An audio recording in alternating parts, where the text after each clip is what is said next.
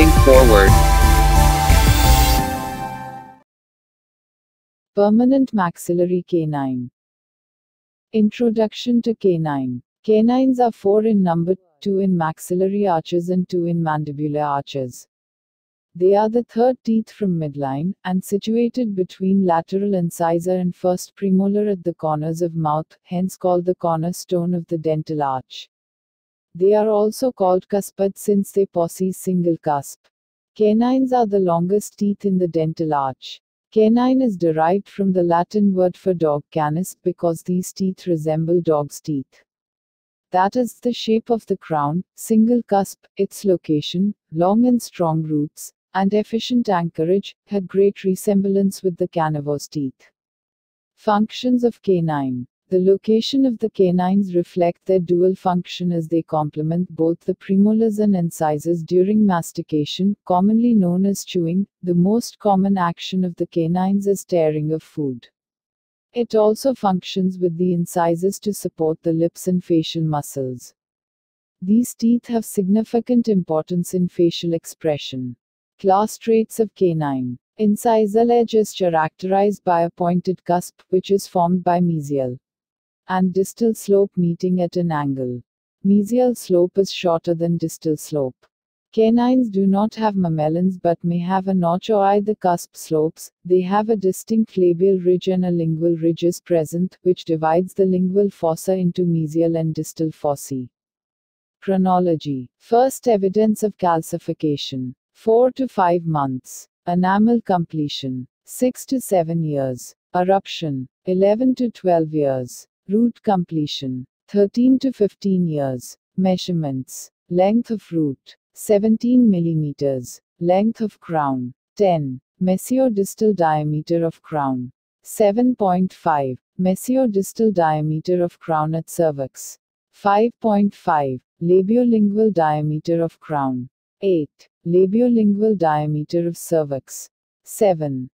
Labial aspect crown the crown is roughly pentagonal in shape. Mesial outline may be convex or slightly concave from cervix to the contact area which is located at the junction of middle and incisal one-third road. Distal outline is concave from cervix to the contact area at the middle of middle one-third road.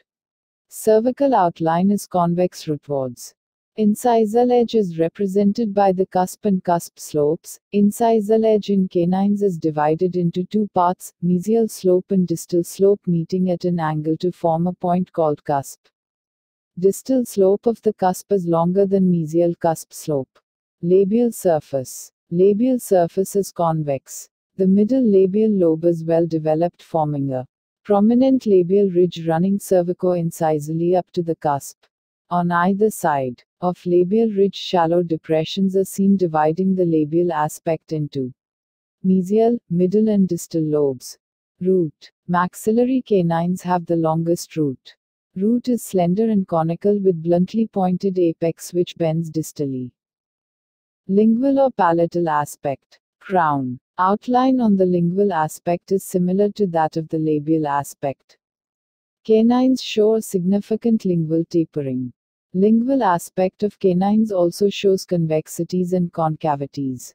Cervical line convex rootwards. The palatal anatomy is distinct with prominent distal and mesial marginal ridges with a bulky cingulum. Cingulum is centered over bordered by linear elevations called marginal ridges. In addition, canines have a distinct lingual ridge running in a cervico-incisal direction from cingulum to the cusp tip. Cingulum marginal ridges and lingual ridge are confluent with each other with a little evidence of developmental grooves. Concavities. The lingual aspect of canines shows a concavity called lingual fossa, which is more pronounced than those of other anterior teeth. The lingual fossa is divided into mesial and distal lingual fossae by the lingual ridge. Root is narrower lingually and much of mesial and distal surfaces are seen.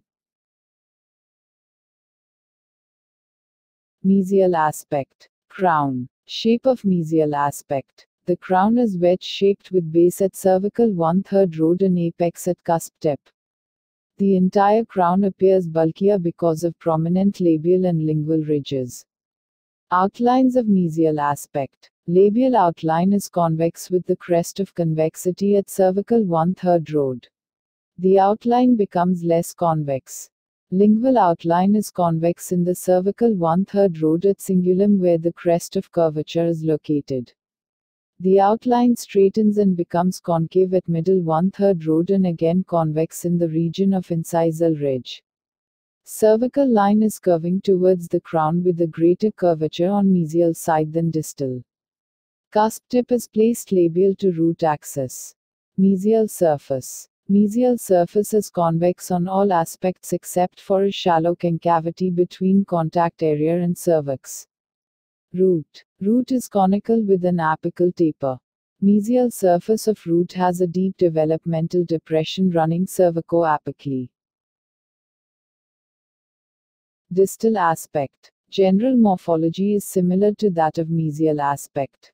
Differences observed are curvature of cervical line is less. Distal marginal ridge is heavier and regular. Developmental depression on distal surface of the root is more pronounced than on the mesial side. Incisal aspect. From the incisal aspect a greater labiolingual measurement than mesiodistal can be well observed.